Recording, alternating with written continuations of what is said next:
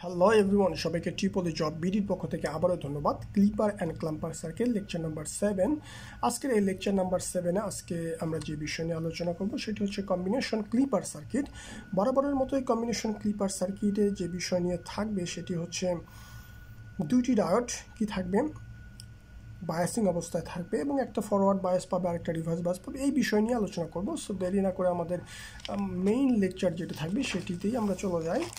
আমাদের problem number ওয়ানে যে বিষয়টি দেখানো হয়েছে, এখানে হচ্ছে দুটি diode diode one diode two এখানে peak to peak twenty volt একটা দিচ্ছি আমরা কি ফাইভ ভোল্ট আর একটা দিচ্ছি ফোর ভোল্ট দুটাই রিভার্স বায়াস অবস্থায় আছে। সেই ক্ষেত্রে এটা হচ্ছে ট্রায়াঙ্গুলার ওয়েব দিয়ে আছে এখানে, এর আউটপুট শেপটা কেমন হবে এই বিষয়ে, এটা আমাদের ড্র করতে হবে। আমরা আউটপুট ইনপুট শেপ হচ্ছে এরকম ওকে একটা ট্রায়াঙ্গুলার ওয়েব এর আউটপুটটা কত হবে সেটি দেখব আমরা। এই ক্ষেত্রে আমাদের যে বিষয়টি লক্ষ্য রাখার বিষয়, যেহেতু দুটাই রিভার্স বায়াস অবস্থায় আছে, এই ক্ষেত্রে সবচেয়ে সহজ হয় কি পজিটিভ হাফ সাইকেল এই ডায়ারটা কাজ করবে এই ডায়ারটা যদি কন্ডাকশন পাই তাহলে আমরা কত পাবো? Five volt negative half cycle কত আসবে? নেগেটিভ হাফ সাইকেলে এই ডায়ারটা কন্ডাকশন পাবে, তখন পাবো মাইনাস ফোর ভোল্ট খুবই সিম্পল ওকে তাহলে আমরা এখানে ড্র করি পজিটিভ হাফ সাইকেল কত আসবে? ফাইভ ভোল্ট পর্যন্ত পাবো, আর নেগেটিভ হাফ সাইকেলে মাইনাস ফোর ভোল্ট পর্যন্ত পাবো। বিষয়টা খুবই সিম্পল এখন প্রবলেম নাম্বার টুতে যাই আমরা। প্রবলেম নাম্বার টুতে যে বিষয় থাকবে সেটি হচ্ছে কেমন? প্রবলেম নাম্বার টু হচ্ছে এরকম। এখন এই প্রবলেম নাম্বার টুতে এখানে দেখা যাচ্ছে যে এটা রিভার্স বায়াস অবস্থায় আছে এবং এটি ফরওয়ার্ড বায়াস অবস্থায় আছে। সিগন্যাল যেভাবেই থাকুক না কেন, এটা ফরওয়ার্ড বায়াস থাকতেছে। অর্থাৎ এখানে আমরা পাচ্ছি কি? সবসময় আমরা কি পাবো? থ্রি ভোল্ট পর্যন্ত পাবো।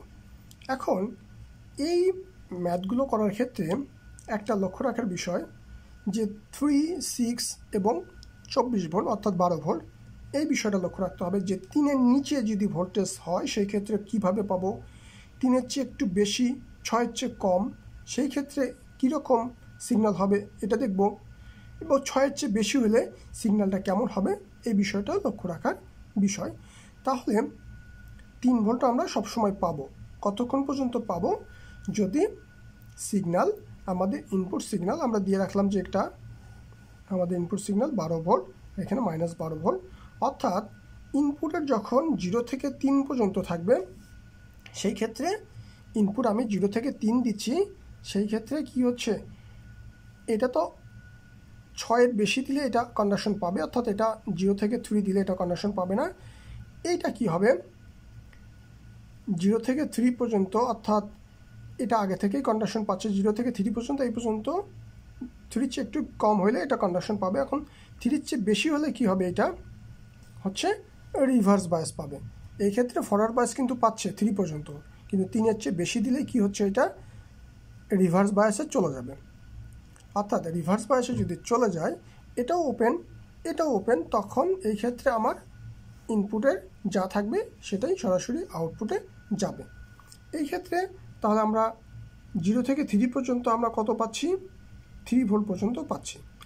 এখন তিনের চেয়ে বেশি যদি আমরা দেই এবং কিন্তু ছয়ের চেয়ে কম, তাহলে আমি ইনপুটে যে দেবো, যা দেবো আউটপুটও তাই পাবো। এখন ছয়ের চেয়ে যদি বেশি দিয়ে দিই, সি, ছয়ের চেয়ে যখন ইনপুট সিগন্যালটা ছয়ের চেয়ে একটু বেশি হয়ে যাবে, তখনই এটা কি হবে? এইটা কন্ডাকশন পাবে এবং এটা তো রিভার্স বায়াস তিনের বেশি হয়ে গেছে। তিনের বেশি হলে এটা রিভার্স বায়াসে যাবে। তাহলে এটা ছয়ের চেয়ে যদি বেশি হয়, সেই ক্ষেত্রে ডি ওয়ান ডায়োডটি কী হবে? এটি হবে ফরওয়ার্ড বায়াস কন্ডাকশন পাবে তখন কি? ছয় ভোল্ট পর্যন্ত আউটপুট শো করবে।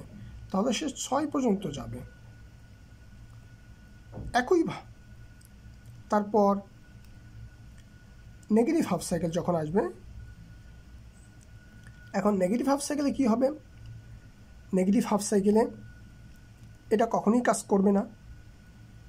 নেগেটিভ হাফ সাইকেলে এইটা নেগেটিভ আসার সাথে সাথে কি হচ্ছে? এটা কন্ডাকশন পাবে। কন্ডাকশন পেলে কত কি হবে? থ্রি ভোল্ট শো করবে। যে নেগেটিভ হাফ সাইকেলে কি হবে? নেগেটিভ হাফ সাইকেলে এটা থ্রি ভোল্ট এই পর্যন্ত negative half cycle three volt show করবে। আবার পজিটিভ হাফ সাইকেল কত পর্যন্ত শো করবে? আবার দেখি আমরা পজিটিভ হাফ সাইকেলে কী হচ্ছে? এই ছয় পর্যন্ত কাজ করবে। নেগেটিভে থ্রি পর্যন্ত কাজ করবে। সহজ উপায়, সহজভাবে যদি আমরা চিন্তা করি, অত যদি জটিল ক্যালকুলেশন যদি না করি, সহজভাবে বলতে পারি যে সবসময় সে থ্রি ভোল্ট পাবে। নেগেটিভ হাফ সাইকেলও থ্রি ভোল্ট পাবে। পজিটিভে শুধু সে কত পাবে? ছয় পর্যন্ত পাবে। আমরা এখন এটা, এইটা।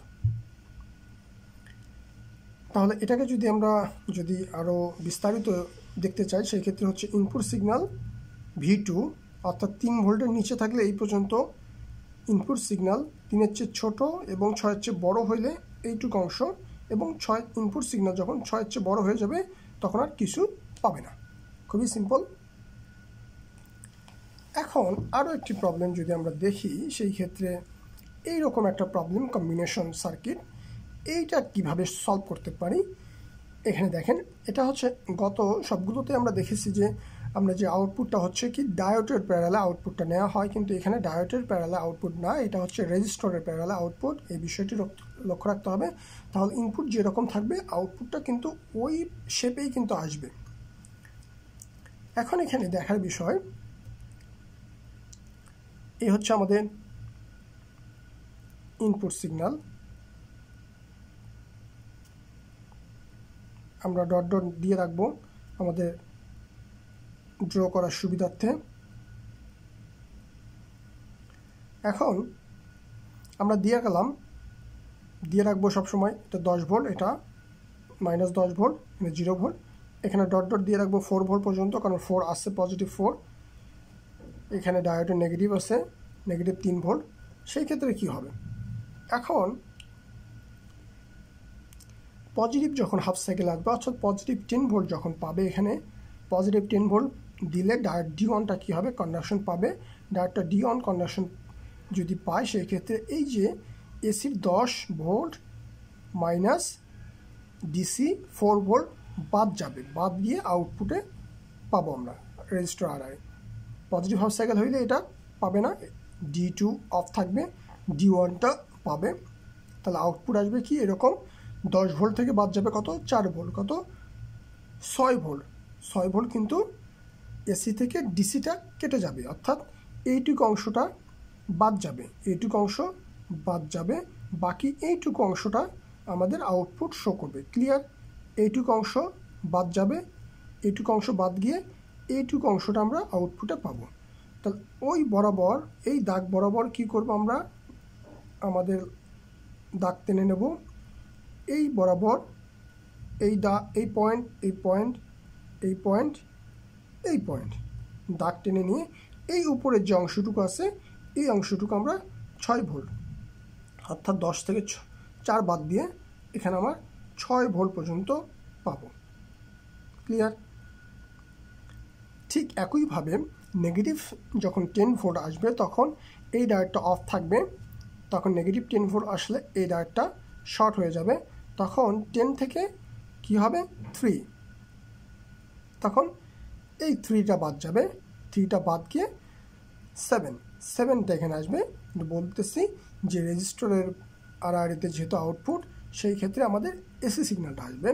যেভাবে ইনপুটের যে সিগন্যালটা আসবে, ওই সিগন্যালটা একই শেপে আসবে। এখানেও নেগেটিভ হাফ সাইকেল তার এই পয়েন্টটা এই পয়েন্টটা বাদ যাবে। অর্থাৎ এইটুকু অংশটা বাদ যাবে, এইটুকু অংশটা আমরা আউটপুটে পাবো। তা এই বরাবর এইটুকু অংশ, এই পয়েন্ট এই পয়েন্ট তাহলে হচ্ছে আমাদের এইটুকু। সেমভাবে আরেকটা সাইকেল যদি আমরা চিন্তা করি, এই ক্ষেত্রে এটা আর বাকিগুলো জিরো বাকিগুলো আমাদের কোনো ডায়োড কোনোটা ডায়োডই কন্ডাকশন পাবে না। এই হচ্ছে আমাদের আউটপুট ওয়েবশেপ সো আশা করি আপনারা কম্বিনেশন যে ক্লিপার সার্কিট মোটামুটি বুঝতে পেরেছেন। নেক্সট ভিডিওর জন্য ওয়েট করবেন। ভালো থাকবেন, সুস্থ থাকবেন, আর চ্যানেলের সাথেই থাকবেন। আল্লাহ হাফিজ।